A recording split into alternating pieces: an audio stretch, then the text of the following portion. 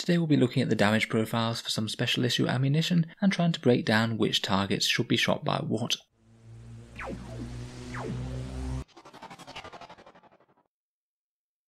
Hello and welcome back to Auspex Tactics, the strategy focused 40k channel where we're all about getting the most out of our miniatures on the tabletop. Today's video sees us return to the Deathwatch for an in-depth look at their special issue ammunition, which is a small squad based tactical choice you make each time you fire the unit. Now there are essentially four types of special issue ammunition, but there's sort of five due to the regular bolter discipline rule. First up we have Kraken and Vengeance rounds, Kraken will give you plus 1 AP to your shot, though it's capped to have a maximum of AP minus 2, and it also adds 6 inch to the range of most guns or 3 inch to pistols. This can be quite important for getting your shots in range or getting a little bit of extra range on rapid fire. Vengeance is even more AP, it's AP minus 2 on top of whatever your gun's profile was, and this one caps out at AP minus 3. This one instead decreases your range by 6 inches or minus 3 if you're using pistols. This means that it's objectively harder hitting than the Kraken rounds, but it means that you can't fire it on rapid fire quite as often due to its short range. Next up we have the trusty Hellfire round. This is the one that just allows you to wound any non-vehicle, non-titanic target on a 2 plus,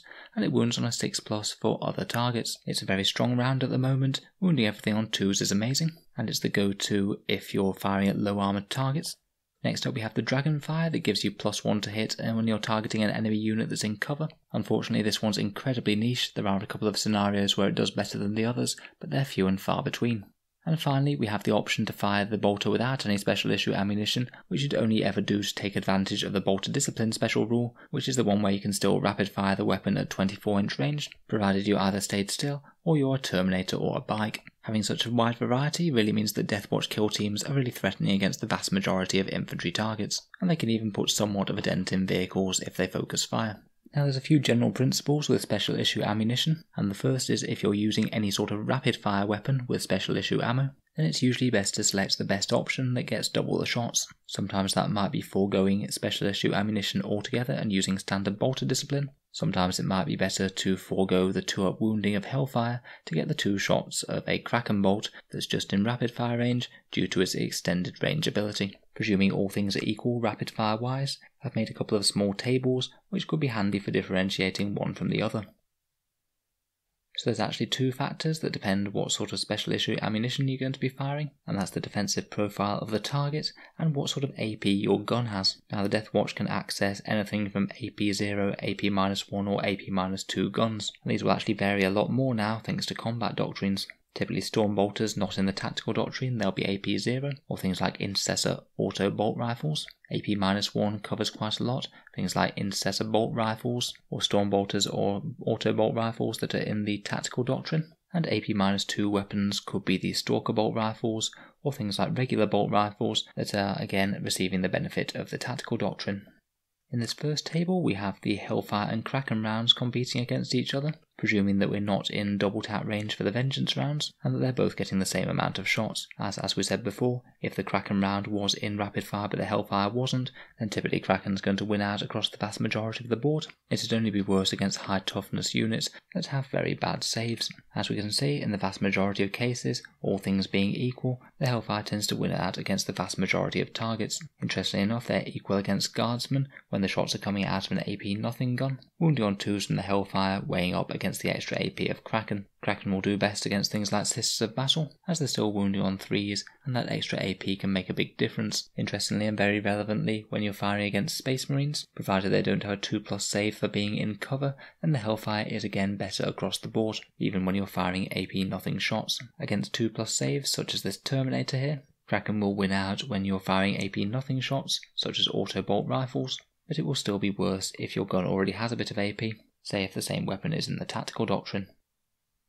If we move over now and say we're very up close and the vengeance rounds are in effective range, say you're firing a storm bolter that's within 9 inch range, or we've got some shots coming out of an auto bolt rifle or something like that. In this scenario, if you're firing an AP nothing weapon, then vengeance is best against most targets. It's only slightly worse against the Ork boy and against aggressors where the 2 plus 2 wounds does slightly outweigh the extra AP when we're firing AP1 weapons, such as storm bolters in the tactical doctrine or regular bolt rifles.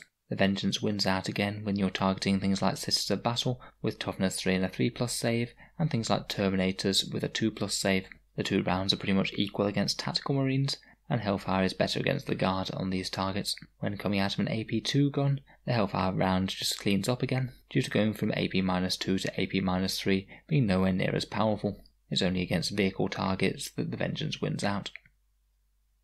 So against some targets, particularly those with higher armour, it can be a bit of a tricky decision between the Vengeance or the Hellfire, and in all honesty, if it is quite close, then it's not really the biggest deal in the world if you rob yourself of a tiny bit of efficiency. But if you do want to optimise every single salvo, then it is perfectly possible to do the maths.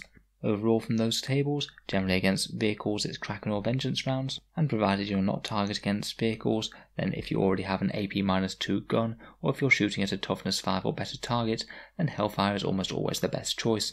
Otherwise it depends how much AP your gun has, and the toughness and armor save of the target.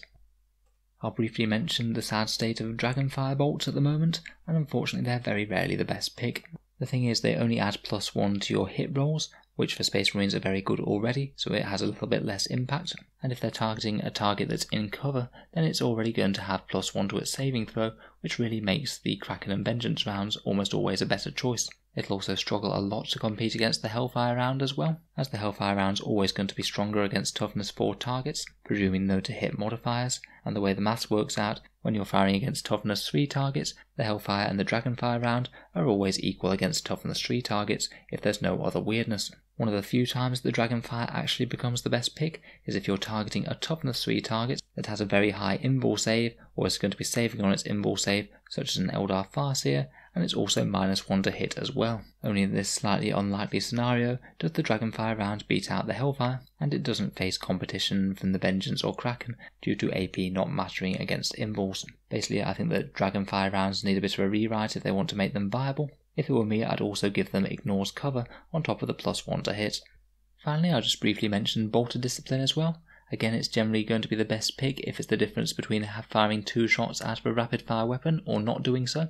The main exceptions being that if you're firing against a target with a 2 plus save and you're firing an AP0 bolt weapon, such as a standard bolt gun or storm bolter that's not in the tactical doctrine, in that case you will be better served with vengeance rounds provided they're in range. And also if you are targeting something that's toughness 5 plus, then generally a hellfire round will still do you better than firing two shots with your standard bolt gun. So I hope I managed to explain things fairly well there. When you actually get into the nuts and bolts of it, there's really quite a lot of things to consider with special issue ammunition, particularly if you want to make it generalizable to the various different guns that Deathwatch can be firing. It's a lot easier to hone in if you just look at, say, storm bolters, and then the maths becomes a bit simpler, although it's still not 100% simple, as their AP can still vary due to the doctrines. In any case, I think in general, special issue ammunition is a really powerful and interesting mechanic, and I'm certainly looking forward to putting some storm bolters and bolt rifles on the table to give it a new go with combat doctrine buffs. Thanks very much for listening to another Auspex Tactics video. If you'd like to see more then feel free to subscribe to the channel. We have new 40k videos out every single day. If you've been enjoying the content recently, any support on Patreon is really greatly appreciated. Making these videos does take quite a bit of time, and I have been cutting back on my regular hours at work a bit to try and fit in a bit more recording. This wouldn't be possible without the channel's Patreon supporters, which I'm deeply grateful for, so if you are enjoying regularly, then any support is greatly appreciated to help keep more videos coming. In any case, a massive thank you for listening, and I'll hope to see you guys next time.